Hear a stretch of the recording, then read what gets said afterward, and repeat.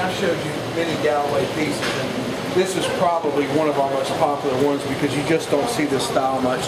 This is an old Victorian style. Again, this com- company was in business from for 100 years. The 1820s when they started, they did some of the finest terracottas in this country. These are hard, hard to find, and when you do find them, they're very expensive. But we do restorations on these. We change them a little bit so we can form in cement.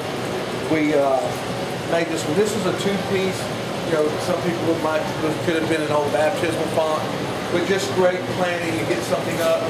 Some of them roll over, copiers or whatever. But this is just a great, unique design. Again, ones that we've restored, that we've done uh, reproductions of, and again, we bring it to present day garden. These these old classics are just wonderful. They're lost, and we're trying to preserve these.